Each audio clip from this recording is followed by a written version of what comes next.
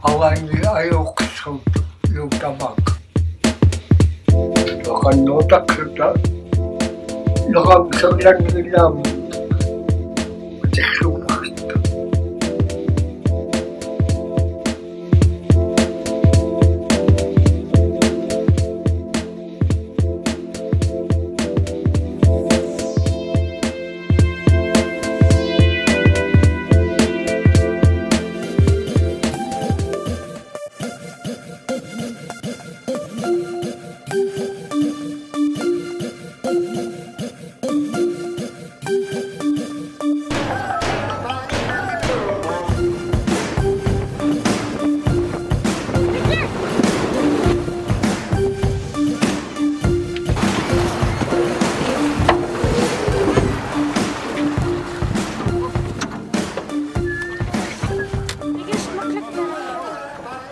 this is my son Jaden Johnson Ayunak, and he just got a beer seal a little while ago, got it in the boat.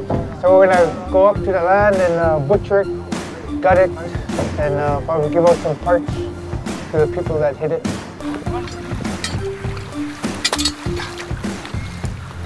I'm gonna split it down the middle so we can uh, start cutting it and uh, give out the parts.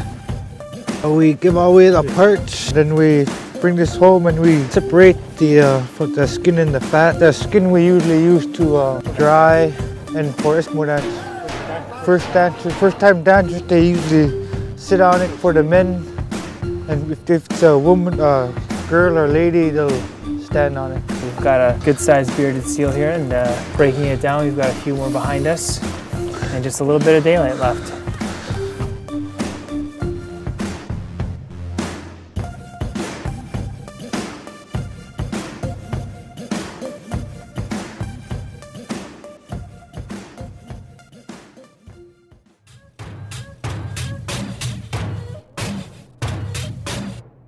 So we're in the kitchen. Uh, we're in beautiful Alakanuk, uh, and we're going to be making a seal pozole. So Marilyn is going to be helping us out.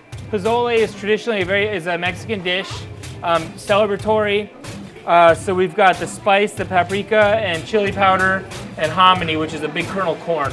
And we're going to go ahead and start with the oil and the aguk, and we're basically rendering out the, the seal kind of just like rendering out a little bit of bacon before you're, you're cooking something. We've got a good little render on the on the seal, so we're gonna go ahead and add the add the meat. Go tip the oil away from you.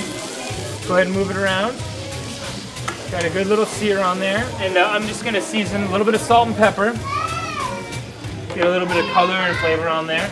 And then the next step, we've got the uh, paprika and chili powder. So Basically add that right in and bloom it. And what that means when I say bloom it, is that these in their in their raw form, in their true form when they're grown, they're basically like bell peppers is what a paprika is, uh, pimento, and uh, chili powder. So when you add it to the liquid, it actually starts absorbing the oil and the moisture from the pan and kind of coats everything and starts blooming and it's almost like a thickening agent. And uh, what orange juice does, it's going to provide a little bit of sweetness to the dish and also the citric acid is kind of balance out that meat. The meat is very, very rich, so we've got a good little boil going on here. Covered all the seal meat. 30 to 45 minutes later, we brought it up to a boil and dropped it down to a simmer. And once that happens, that's when you go ahead and add these flavors here. You've got some canned vegetables in there, potatoes, carrots, and this is sort of what we're looking at. We've got a beautiful, rich dish, a lot of flavor in there.